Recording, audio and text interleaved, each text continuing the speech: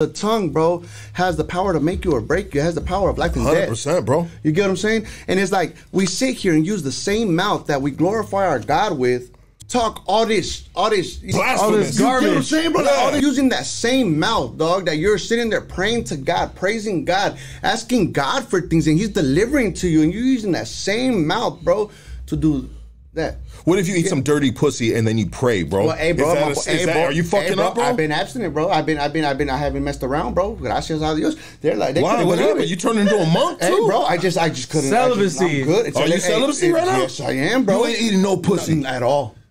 You still got that tongue ring in there? Yes. Wow! so you ain't fully Yes. there yet. No, no, no, no. You still got the tongue ring, dog. Yeah, well, I mean, yeah, yeah, but I Just in haven't case, just in case.